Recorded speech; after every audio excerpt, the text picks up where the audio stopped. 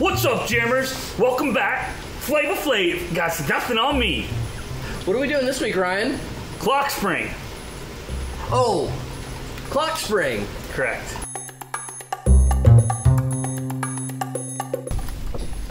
What's going on? So what are we doing today, Ryan? Oh yeah, so back to that. Um, so guys, we've got an air light on our dash. What kind? A, a, a, a lit, lit one. Airbag light and so what we got to do is What else do we have?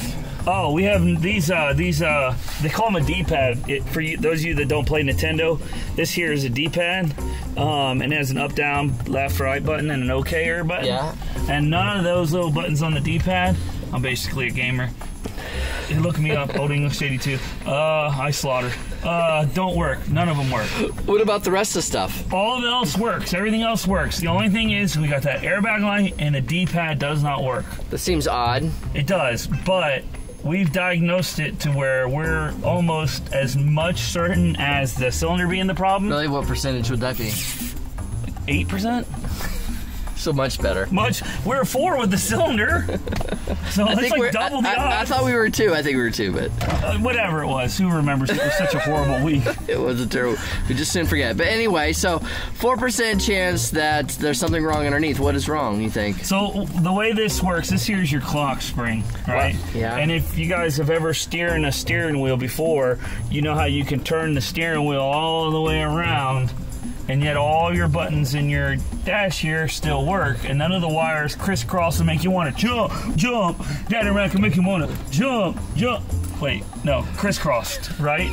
Uh, it's the favorite Flav thing from the beginning. Oh, that what I was trying to figure out what the reference is? Yeah, Chris I know I'm a- just not so as culturally relevant as you are, Ryan. I mean, what can I say? So anyway, so you so you think there's uh, something busted up inside of ours to where it's not making that connection Absolutely. to our Nintendo D-pad. Right, yeah. So we can't put any of the Contra uh, cheat codes in. You know, like up, down, left, right, left, right, up, up, down, down. Oh, to that's get the problem. Infinity lives. Have Oh. you ever played Contra? yeah, I did play Contra. Heck yeah. So uh, what's the plan then? If we're gonna replace this, uh, where's it? Where's this piece located, and how do we get to It's it? It's located right here in my hand. Or where's the old piece? The old piece is hidden in a trove, and we have to take the Oracle to the wizard, get the cucumber, take that to the mole. He'll give us a mushroom, and then we'll get the Orshin.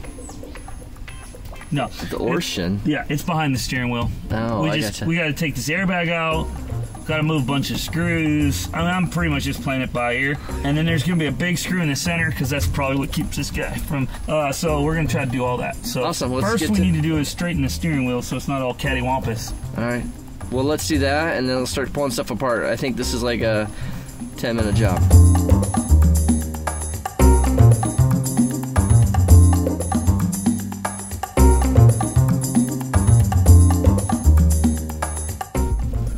Right, so Ryan, we are getting ready to do this. And when I say we, I mean you. What's first? Uh, well, we don't really need the truck on. You don't really want to do this. We probably want to disconnect the battery Why?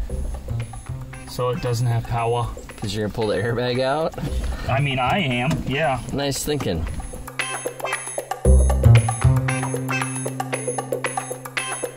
Where's my handy dandy push rod? You guys remember him? If we remember correctly, we got to do the bottom. So, so how many times are we gonna take the airbags out in this truck? as many times as we need to. Ooh, look at you. You learned from last time, didn't you? Yeah. I'm getting smarter. Seems like the airbag comes out easier when you uh, undo the bottom one first and then the sides. Yeah. Seems like it. There it is. Wham bam, thank you, ma'am. Look at that.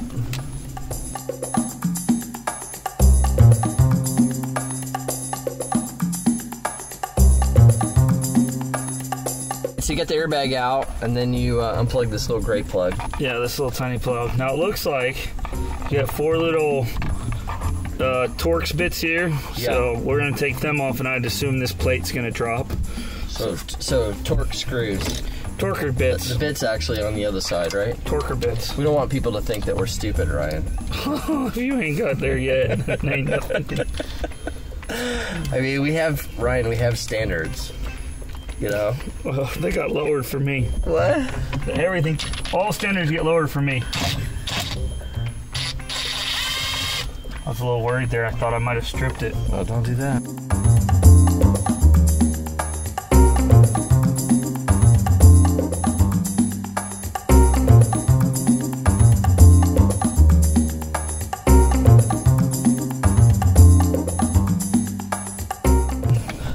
So that little plate come out. Wow, that's pretty nice.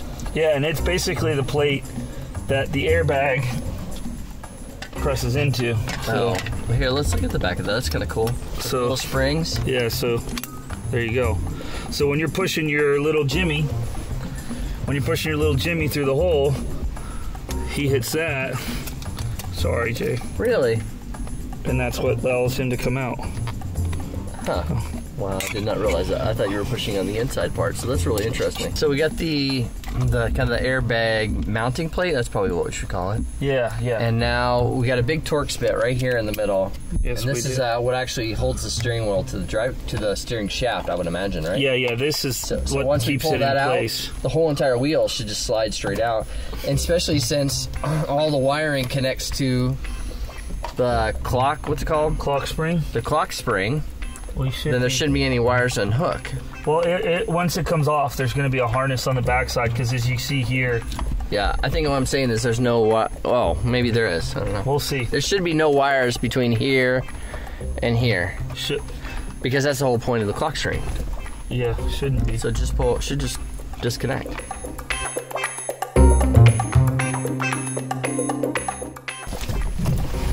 For all yins, for all yins out there that actually watch our content for really clear and concise and practical how-tos, let me go ahead and tell you what side torque this is.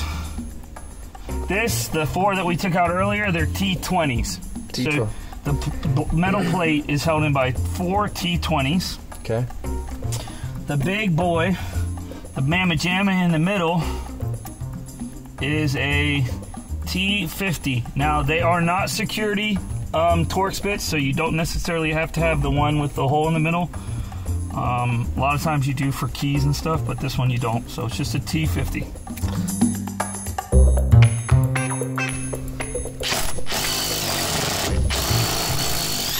Wow, it, it actually is off.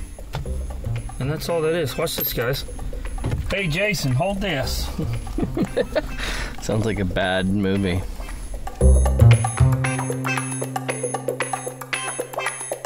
So, what do you want to show everybody, Ryan? Well, for those of you out there who are very precise like myself and always want to make sure everything's correct and torqued correctly to the right OEM specifications, if you looky here, you see a bar that goes up and down, and then you got a bar in the notched on this thread here. That's your lineup things. Obviously, these two yellow jokers help too, but no matter what, you want to put those in the same spot, and then you're lined up, and then you shouldn't have to worry about anything. Yeah. This piece just kind of stays in place, mm-hmm. and then what's around it moves. Right. So this this actually rolls with the steering wheel. Right, the whole column. So this technically should all be There spinning. you go. So yeah. So this all, and then the connection between here and on the inside is how we get the electrical connections, I guess. So it looks like we got some more Torx bits. How many? we Yeah, got? where's the new one? So it looks like looks like one, two, three. And it looks like this would go up in there like this. And if you see, Yeah. What's up with that big this plastic? is a lock that's preventing it from spinning. oh, so once that pulls we- out. Once we get it installed, we'll pull this loose. All right. So the white piece is locking it all together, so it's not free spinning. Because you do not want your clock spin spring to free spin because you will damage it. 100% guaranteed you will damage it if it's free spinning. So, right. do not do that.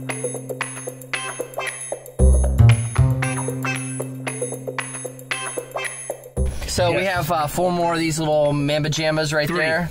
Three. Yeah, one, two, and one over here. All right. What size are those? They are T8s. Man, we are so helpful.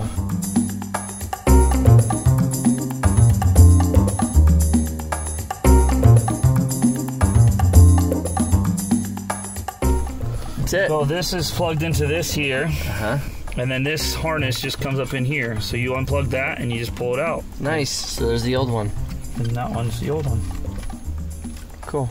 And this is very common for these to go bad in accidents where the airbag deploys. Yeah. Usually a pretty guarantee. Well, I mean, if you remember back a few episodes, we pulled on the whole steering column and it telescoped out and it felt like it was stuck. So we think that might have been some of it too. Yeah, and I think if you look at it, you could see like this is awful wear. Got a lot of um, wear on it. Really, that shaft? Yeah, I mean, there's notches on it from where it looks like. It looks like maybe when it got hit, the guy took the wheel forward with it. You know what I'm saying? I bet that's what happened because we had to pull it in reverse Yeah. to get it out, right? Yeah, yeah. So I think it was such a massive hit that when he's, whenever the accident happened, they bam and it rolled it up that shaft. Yeah. They bammed. I don't like it when people they bam. You know. Well, we reached out to the owner and man, we'd love to hear back from him. He's probably might be interested in seeing these videos of his truck come back to life. Kind of cool. yeah, I think it would be.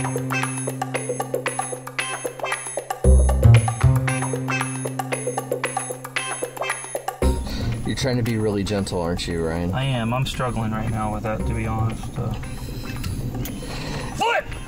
I know you're usually Hulk smash, Hulk smash. gets it done. Well, know- don't Hulk smash this part because this seems a little bit delicate. And you dropping things. You know, when you have to work with precision, that's just gonna goes with the game.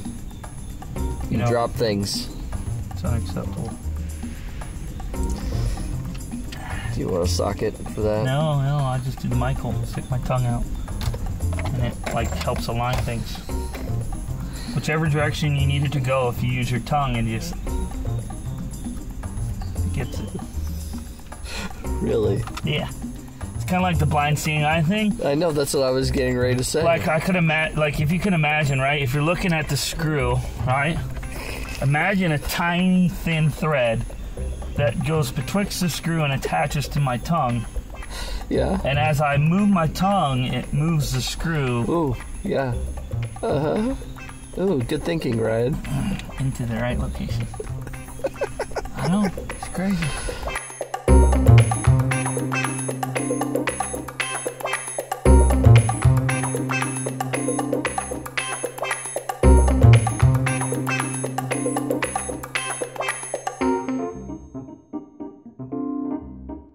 So Ryan, we got the, the big white uh, locking mechanism. All right, pull that out. Whatever you do, don't Throw! spin it. Wait, you're supposed to throw the grenade, not the pin. Yeah, we'd be in trouble. I thought you were once in the military. No, I played one on TV. Oh boy, it's moving, it's stressing me out. Oh, It can't go that far. That's it, right? Yeah, dude. Torques that baby back together. Make sure you. you So, are we still at what? What percent chance of this working? Six or eight? I forgot what it was. Or well, whoever has it, has has it moved up? Maybe no. 10, 12? If anything, it's gone down. All right.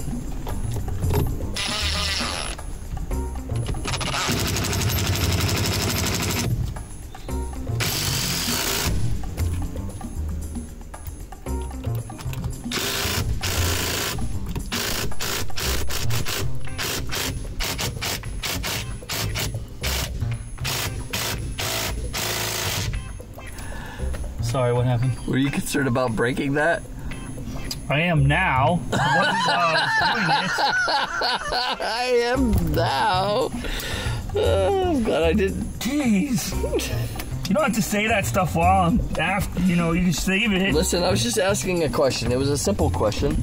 All right, Ryan. So we have this is all installed, right? So now we're gonna do the plate for the airbag. Yeah, and uh, all this other stuff. So we'll just move this all through here. And then line that guy up again. And then we need our screws. Different Torx bit. Remember now, you gotta go back to your T25. Don't, don't try this one now. You won't get nowhere with it. Sound like a female Southerner. Honey. Like if if Madea was a female. Is, is it Madea a female? No. Wait, what? Madea's not real. That's it. I quit. I, I can't handle that. You mean to tell me Madea is not a real Madea? It's Amanda Dia. Madea's Amanda Dia. I don't even. I don't want to know. I don't even want to know about that. My little heart won't be able to handle it. Tyler Perry, you lied. Tricked us all. Use the tricker. Woo! We had us what you would call a little bit of a fear factor moment. Why?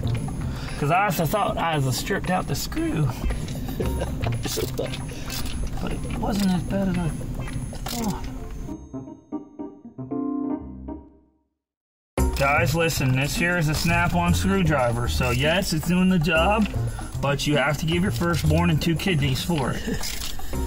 Okay, so make sure you contemplate, is it necessary?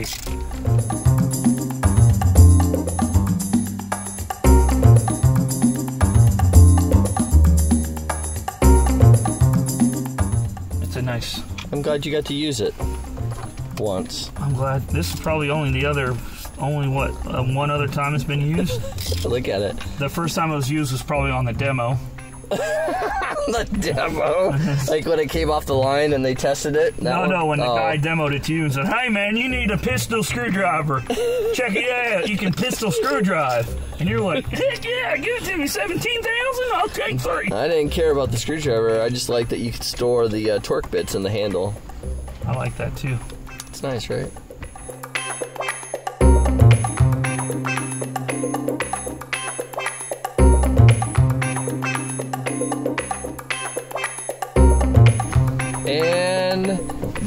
Done. All right. So now the big question is: is did it start? Will it work? Did it work? Did, Will- will, will it start? Yeah. Hmm. The question is, will the D-pad work, or and will the uh, airbag light go, go off? I'm gonna be optimistic, Jason. All right. We're on a good run. We're coming over the hill, Yeah. you know, crescent into the plateau. We're not, you know, dealing with the the, the waves being tossed away. I think, I think this isn't going to be it. you don't. You said. What'd you say? You. This is going to be it. Oh, I thought you said I think this isn't going to. Isn't. That's what I said. All right. Hey, let's hook up the battery.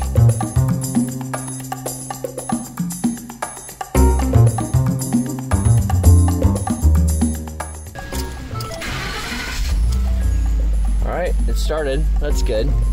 Airbag light's still on. What about your D panel? That's working. And the airbag light is gone. Yep. I'd say that was definitely our problem. Yeah, and our That's D-pad works. I mean, guys, we actually fixed something correctly. Whoa! Hey, five five. Here I come, Ford Tech. We have no no errors up here, right? Zero errors, except So- for doors are open. So I think the only thing we lack is we're gonna hook up the FORScan to this and see and pull everything and clear all the DTSs, make sure that's all clear, and then we're ready for inspection. DTCs. DTCs. All right, let's do that. Drivers, these are all here before. These three were all here before. They were. Clear those man pajamas out. Let's try. right, so let's click on it. Let's clear it. Please set uh, HS switch to HS. Click OK. Please cycle ignition on and off. On, off. Click OK. Whoa, whoa, whoa! What do you got, Mr. Mister? We gonna have no ghost. We don't fix that jack. We don't know yet. You haven't hit okay. Whoa! Look at that! Look at that! Would you just look at it? No, no, no, no, no, no, no, no. And that is the first time since touching this daggum possessed vehicle that we have ever had it say none. That's ever. That's incredible. Well, as you can see, once again, we fix everything. yeah, we do. Now we don't fix it quick. or right the first time. Thank you so much for watching. We would love it if you hit that subscribe button right now and that bell. It's about down in the corner somewhere. And that will alert you of any new videos that we have. We have new ones coming out really soon. Uh, thank you so much for your support. We are closing in on 700 subs. We really need your help to get us over that. Spread the word. Hey, something else you guys could do, spread the word, is buy a T-shirt. Heck yeah, Uh, we don't because hardly make- neither of us are wearing one right now, I so know. you should. We hardly make any money on those at all. But our hope is is to make a little bit of money and maybe give some shirts away. yeah. Help us out, would you? And um, as you guys saw, it's running, it's back together. So stay tuned for next episode, and we'll see you next time. 姐们儿要